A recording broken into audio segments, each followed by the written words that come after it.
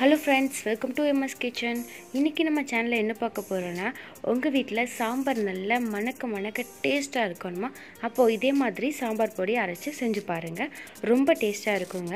Video பார்க்குறதுக்கு முன்னாடி நம்மளோட எம்எஸ் கிச்சன் சேனலை நீங்கள் ஃபஸ்ட் டைம் பார்க்குறதா இருந்தால் மறக்காமல் சப்ஸ்கிரைப் பண்ணிவிட்டு கூடவே பக்கத்தில் உள்ள பெல் பட்டனையும் கிளிக் பண்ணிடுங்க. அப்போ தான் நான் போடுற வீடியோ தினமும் உங்களுக்கு வரும். வாங்க வீடியோக்குள்ளே போகலாம் இதுக்கு ஒரு இப்போ நம்ம நான்ஸ்டிக் பேன் ஒன்று எடுத்து வச்சுருக்கோம். அதை நல்லா ஹீட் பண்ணதுக்கப்புறம் அதில் வந்து நான் இரநூறு உலக்கில் பாதி அந்த கோடோட பாதி அளவு தான் நான் சேர்த்துருக்கேன். இதுக்கு வந்து ஃபஸ்ட்டு நம்ம மல்லி சேர்த்துக்கலாம். மல்லி வந்து நல்லா நம்ம வறுத்துக்கலாம். இதுக்கு வந்து நம்ம மல்லியை இந்த மாதிரி நல்லா நம்ம வறுத்துக்கலாம். மல்லியை நல்லா கருக வறுத்துடாதீங்க அடுப்பு கொஞ்சம் சிம்லேயே வச்சு நீங்கள் நல்லா வறுத்துக்கங்க அதை. பாருங்கள் இந்த மாதிரி செய்யலை இந்த மல்லி நல்லா உடையணும். இந்த மாதிரி இருக்கிறது தான் கரெக்டான பதம். இப்போ நம்ம அதை எடுத்து ஒரு பிளேட்டுக்கு மாற்றிக்கலாம் மாற்றியாச்சு இதை நல்லா நம்ம ஆற வச்சுக்கலாம். அடுத்து வந்து அதே கடாயில் நம்ம வந்து வரமிளகாய் சேர்த்துருக்கோம். நான் காரத்துக்கு தகுந்த மாதிரி வரமிளகாய் சேர்த்துருக்கேன். இந்த வரமிளகாய் வந்து ஒரு இருபதுலேருந்து இருபத்தஞ்சி வரமிளகாய் நீங்கள் சேர்த்துக்கோங்க. இப்போது இது எல்லாத்தையும் நல்லா நம்ம கொஞ்சம் லைட்டாக ரோஸ்ட் கலரில் வர்ற அளவுக்கு லைட்டாக நம்ம இதை வதக்கிக்கலாம்.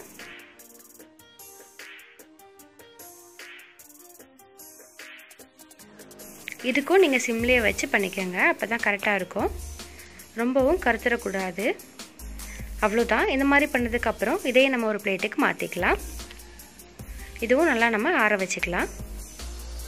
இப்போ கடாய் நல்லா ஹீட் ஆனதுக்கப்புறம் இதில் வந்து நம்ம அடுத்து அரை ஸ்பூன் கடுகு சேர்த்துருக்கோம். அவ்வளோதான் கடுகு சேர்த்தாச்சு. இதை நல்லா நம்ம பொரிய வச்சுக்கலாம். பாருங்கள் இந்த மாதிரி நல்லா பொரிஞ்சு கடுகு நல்லா வெடிக்கும். அதான் கரெக்டான பதம். அதே நம்ம இன்னொரு பிளேட்டுக்கு மாற்றி வச்சுக்கலாம்.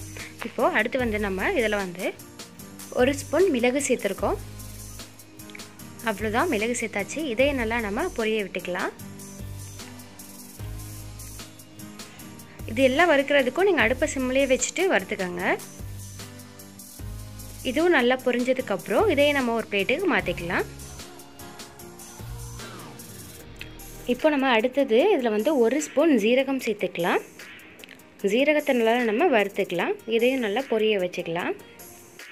ஜீரகம் இந்த மாதிரி பொரிஞ்சதுக்கப்புறம் அதையும் நம்ம ஒரு பிளேட்டுக்கு மாற்றிக்கலாம் இப்போ நம்ம அடுத்து வந்து இதே கடாயில் வெந்தயம் சேர்த்துக்கலாம். வெந்தயம் வந்து நான் கால் ஸ்பூன் சேர்த்துருக்கேன்.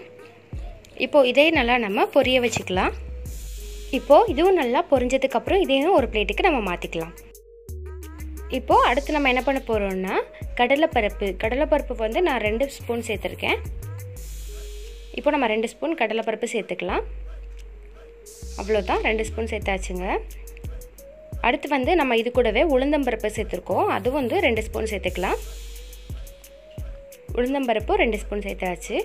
அதுக்கடுத்து இது கூடவே நம்ம துவரம் பருப்பு. அதுவும் ரெண்டு ஸ்பூன் சேர்த்துக்கலாம். அவ்வளோதான் எல்லாம் சேர்த்தாச்சு. இப்போ இது எல்லாத்தையும் நல்லா நம்ம வறுத்துக்கலாம். இந்த மாதிரி நல்லா அது கோல்டன் ப்ரௌன் ஆனதுக்கப்புறம் அதை வந்து இன்னொரு பிளேட்டுக்கு நம்ம மாற்றி வச்சுக்கலாம்.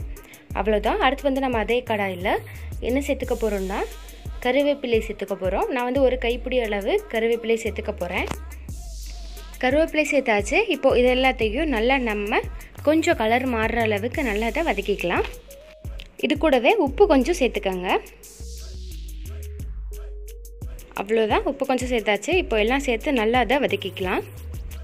பாருங்கள் இந்த மாதிரி நல்லா கருவேப்பிலை வந்து நல்லா வதங்கிடும் நல்லா வதங்கினதுக்கப்புறம் இதையும் எடுத்து நம்ம அந்த பிளேட்டில் மாற்றிக்கலாம் இப்போ அடுத்து வந்து நம்ம மஞ்சள் தூள் சேர்த்துக்கலாம். நான் வந்து மஞ்சள் தூள் வந்து ரெண்டு ஸ்பூன் சேர்த்துருக்கேன். ரெண்டு ஸ்பூன் மஞ்சள் தூள் சேர்த்ததுக்கப்புறம் இதையும் நல்லா நம்ம வதக்கிக்கலாம். அது கூடவே பெருங்காயத்தூள் சேர்த்துக்கலாம். பெருங்காயத்தூள் வந்து ரெண்டு ஸ்பூன் சேர்த்துருக்கேன். இப்போ எல்லாம் சேர்த்ததுக்கப்புறம் இதை வந்து லைட்டாக நம்ம நல்லா வதக்கிக்கலாம். அவ்வளோதான் ரொம்ப கருக வந்து நீங்கள் வறுத்துடாதீங்க இப்போ இந்த மாதிரி நல்லா வதக்கினதுக்கப்புறம் அதையும் நம்ம எல்லா மசாலா கூடவும் சேர்த்தாச்சு. பாருங்கள் மல்லிலேருந்து எல்லாம் சேர்த்தாச்சு. எல்லாம் நல்லா ஆறிடுச்சுங்க. இது நல்லா ஆறினதுக்கப்புறம் மிக்சி கப்பில் போட்டு நல்லா இதை வந்து நம்ம பவுடராக நுணுக்கிக்கலாம். இந்த மாதிரி ஃபஸ்ட்டு கருவேப்பிலையையும் அது கூடவே வரமிளகாவும் சேர்த்துக்கோங்க.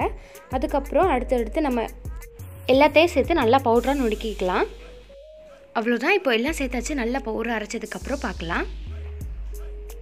பாருங்கள் நல்ல பவுடராக அரைச்சாச்சுங்க. இந்த மாதிரி நல்ல பவுடராக நீங்கள் அரைச்சிக்கோங்க. அரைச்சதுக்கப்புறம் லைட்டை வந்து ஒரு சலுக்கி வச்சு நல்லா சலிச்சுக்கோங்க. அவ்வளோதாங்க டேஸ்ட்டாக சாம்பார் வைக்கணும்னா அப்போது இந்த பவுடர் வச்சு சாம்பார் வச்சு பாருங்கள் செம்ம டேஸ்ட்டாக இருக்குங்க. ஓகே ஃப்ரெண்ட்ஸ் இந்த வீடியோ உங்களுக்கு ரொம்ப பிடிச்சிருந்துச்சுன்னா மறக்காமல் லைக் பண்ணிவிட்டு எனக்கு கமெண்ட் பண்ணிடுங்க நம்ம சேனலை நீங்கள் ஃபஸ்ட் டைம் பார்க்குறதா இருந்தால் மறக்காமல் சப்ஸ்கிரைப் பண்ணிவிட்டு கூடவே பக்கத்தில் பெல் பட்டனே கிளிக் பண்ணிடுங்க. அப்போ தான் நான் போடுற வீடியோ தினமும் உங்களுக்கு வரும். ஓகே ஃப்ரெண்ட்ஸ் பாய் இதே மாதிரி இன்னொரு ஒரு வீடியோவில் நம்ம மீண்டும் சந்திக்கலாம்.